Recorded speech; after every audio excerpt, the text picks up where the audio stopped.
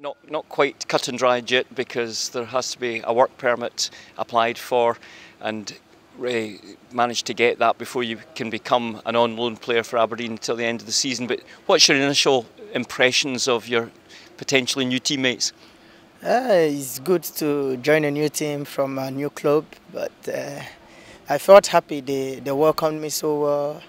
Uh, they took me like a brother.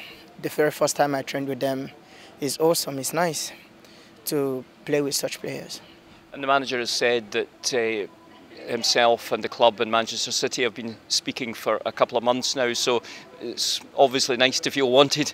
Yeah, yeah, I, it has been a, a pleasure for me, and I've been looking forward to it to play in a higher league. And uh, Aberdeen is a very good move for me, and is a very nice place for me to be in and develop as a young player.